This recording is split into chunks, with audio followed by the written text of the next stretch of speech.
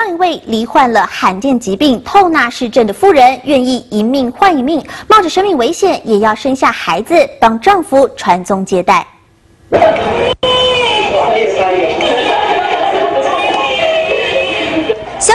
婴被医师抱在怀里，哭声洪亮。一旁的妈妈看了好满足，冒着生命危险，总算顺利将宝贝女儿生下来。为了庆祝母女平安，医院也特别举办庆生会，让大家分享这份喜悦。今年三十九岁的易勋，身高只有一百四十五公分，因为罹患透纳氏症，也就是染色体异常，她比正常女性少了一个 X 的染色体，因此身材矮小，子宫小，不易受孕，而且在心血管方面也相当脆弱。如果怀孕，还容易导致主动脉剥离，死亡率有八。成会从这里扣泪，那血从这里灌过来，就整个好像是撕纸纸片一样，整个都撕开来。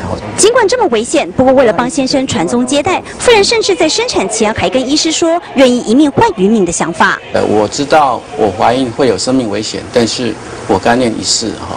他说我要给他一命配一命哈。好在老天帮忙，加上医师的细心照顾，逸轩顺利产下了健康的女婴，母女平。